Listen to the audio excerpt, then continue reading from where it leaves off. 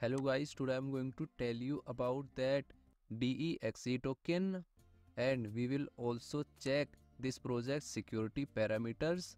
Now before start the video let's share my legal disclaimer. This video is only for educational purpose. Do your own research for the investing.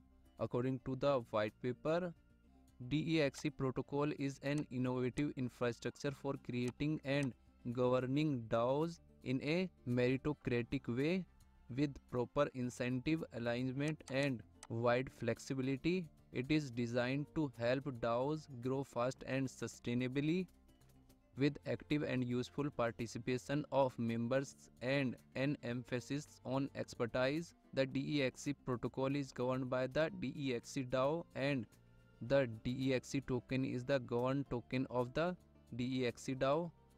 After that, you will open gopluslab.io website. Firstly, we will copy token address and paste here. Then click on check button. So here we can see risky item and attention item. Risky item is 0 and attention item is 1. Here attention item is showing because the whitelist function is included. Some of addresses may not be able to trade normally. And here we can also check top 10 holders liquidity percentage. Top 10 holders liquidity percentage is 99%. This project token holders is around 2000 and total supply is 96 million DEXE token.